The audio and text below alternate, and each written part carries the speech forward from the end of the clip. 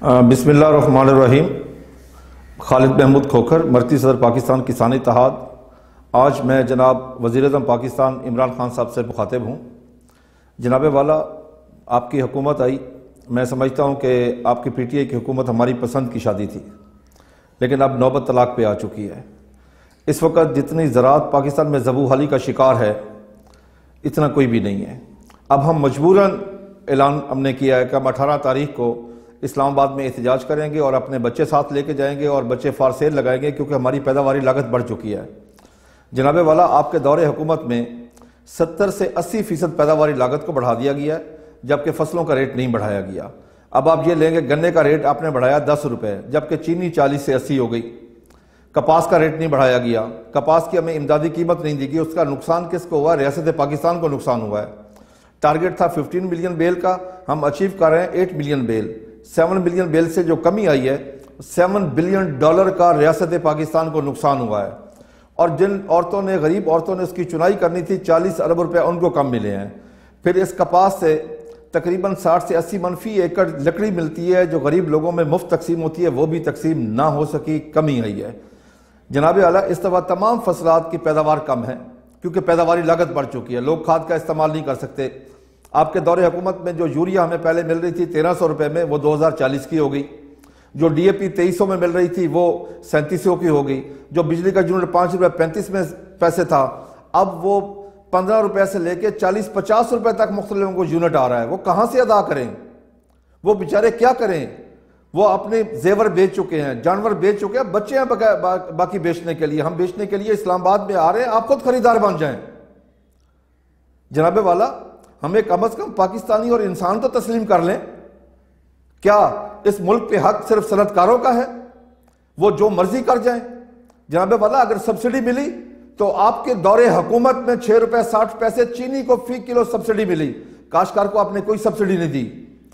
اس سے پچھلے سال ان کو دس روپے ستر پیسے فی کلو چینی سبسڈی ملی۔ کاشکاروں کو نہیں ملی۔ آپ کے دور حکومت میں یہ کون سا اصول ہے کہ ایک سبسڈائز کنٹری سے، جہاں پر یوریا کی بوری پاکستانی روپیز میں پانچ سو چالیس روپے کی ہو جہاں دو ہزار چالیس وہاں سے کپاس ڈیوٹی فری آئے۔ جناب، یہ کس کی قیمت پر؟ کاشکار کی قیمت پر۔ نقصان کس کا ہو رہا ہے؟ پاکستان کا نقصان ہو رہا ہے جناب والا۔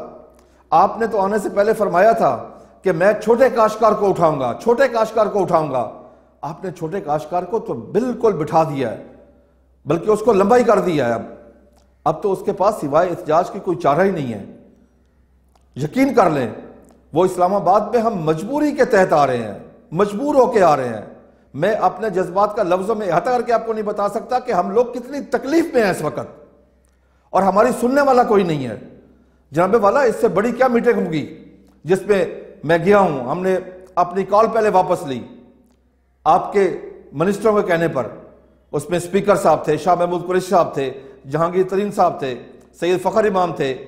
اس میں خسرو بختیار تھے، اسد عمر تھے، عمر ایوب تھے، سارے لوگ موجود تھے۔ سب نے کہا کہ آپ سچ کر رہے ہیں، لیکن عمل درامت کوئی نہیں ہے۔ سر، فیصلے کہاں پہ ہو رہے ہیں؟ سر، آپ یہ دیکھیں، اگر کپاس کی امدادی قیمت مل جاتی تو اس ملک کا زر مبادلہ اور بہتر ہوتا۔ کپاس کون سی فصل ہے جناب؟ کپاس وہ فصل ہے کہ آپ کی ٹوٹل برامدات میں ساٹھ فیصد کپاس کا حصہ ہے۔ جناب والا، مجھے بتاتے ہوئے شرم آ رہی ہے کہ اس کو prime minister agriculture emergency programme میں شامل نہیں کیا گیا۔ ریسرچ کے لیے اس کے لیے پیسے نہیں رکھے گئے۔ کون سی فصلوں کے رکھے گئے ہیں؟ گنا ہے، چاول ہے، گندم ہے اور آئل شیڈ کراپ ہے۔ کپاس کو نکال دیا گیا۔ حالانکہ آپ کی جو، جس کو ہم سفید وائٹ گولڈ کہتے ہیں، وہ کپاس ہے۔ آپ نے آپ کے دور حکومت میں کپاس پہ ریسرچ ختم کر دی گئی ہے۔ ریسرچ کے لیے کوئی پیسہ نہیں ہے۔ جناب والا، آپ یہ دیکھیں ٹوٹل ایگریکلچر کی جی ڈی پی کا جو اب مائنس پہ ہے، اس کا پوائنٹ ون ریسرچ پہ خرچ ہوتا ہے پاکستان میں۔ سر، یہ کہاں کا انصاف ہے؟ کیا کیا آپ نے فیصلہ کرنا ہے کہ اس ملک میں زراعت کرنی ہے یا نہیں کرنی؟ آپ ہمیں بتا دیں جناب والا۔ جناب والا، آپ تک کاشکار کی پہنچ نہیں ہے باقی سارے آپ تک پہنچ سکتے ہیں۔ آپ کے ارد گرد جن لوگوں کا جو لوگ ہیں، وہ آپ تک حقیقت نہیں پہنچا رہے۔ سر موڈیز نے کہا ہے کہ پاکستان کی معیشت بہتر آئیں غریب کاشکار کے گھر کے حالات دیکھیں۔ اس کے گھر کے حالات کے دیکھیں، اس کے صحت کے حالات دیکھیں، اس کے تعلیم کے حالات کے حالات دیکھیں وہ کس کس مشکل سے گزر رہا ہے۔ جناب والا، ہم پاکستانی ہیں، ہم سچے محب وطن ہیں۔ ہم اپنی زمین کا ٹکڑا اٹھا کے کسی دوسرے ملک پہ منتقل نہیں کر سکتے۔ ہمارا جینا مرنا پاکستان کے ساتھ ہے، ہماری تعلیم پاکستان میں، ہماری صحت پاکستان میں، ہماری اولاد پاکستان میں، ہمارا ایمان تک پاکستان میں ہے۔ تو اس لیے ہم نے پاکستان کی بہتری کے سوچنا ہے۔ میں آپ سے پھر مخاطب ہو کے گزارش کرتا ہوں، خدا کے لیے، پاکستان کے لیے سوچیں۔ دکھ کی بات ہے کہ پارلیمنٹ میں پاکستان کے لیے بات تک نہیں ہوتی۔ وہاں شخصیات پہ بات ہو رہی ہوتی ہے۔ وہاں ایک دوسرے کو تانے دیے جا رہے ہوتے ہیں۔ خدا کے لیے، پاکستان کے لیے کام کریں۔ ہم پاکستانیوں نے آپ کو الیکٹ کیا تھا، پاکستان کے لیے الیکٹ کیا تھا۔ چند لوگوں کے لیے الیکٹ نہیں کیا تھا۔ کہ وہ، اب آپ یہ دیکھیں، ہمارا ٹماٹر مہنگا ہوا، پورے ملک کی چیخیں نکل گئی میڈیا ہر جگہ آپ کیبنٹ میں ڈسکس کر رہے تھے۔ کبھی اپنے کیبنٹ میں ڈسکس کیا کہ کاشکار کا کیا حال ہے؟ جب اس کا وہی ٹماٹر دو روپے کلو بکتا کبھی کیبنٹ میں آپ نے بات کی؟ سر، ہم نے گندم تیرہ سو روپے من بیچی، آٹا وہی لوگوں کو بائیس سو روپے من ملا۔ کیوں؟ کس کی کمزوری ہے؟ کون ہے چیف ایگزیکٹو پاکستان؟ سر، آپ ذمہ دار ہیں اس کے، میں ذمہ دار نہیں ہوں۔ ہم نے ہر چیز سستی مہیا کی۔ سر، ہم نے آلو پانچ روپے کلو دیا اس قوم کو۔ لیکن کیا اس غریب عوام کو وہ آلو پانچ روپے کلو ملا؟ کون ذمہ دار ہے؟ سر، آپ ذمہ دار ہیں اس کے۔ ہم ذمہ دار نہیں ہیں۔